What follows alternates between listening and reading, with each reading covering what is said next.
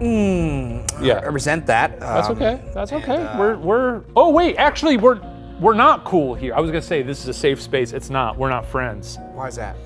That happened last week on debrief. We ended our friendship. Mm, I forgot about that. Um, forgot it's about that, good yeah. to see you to some degree because we have to because it's our job. But Hey, um, look, I'm still your friend, man. strictly professional. You're so gonna- it is a safe space in that sense. You're gonna be my friend whether you like it or not. Well, I don't like it. Um, so this is a one-way street, buddy.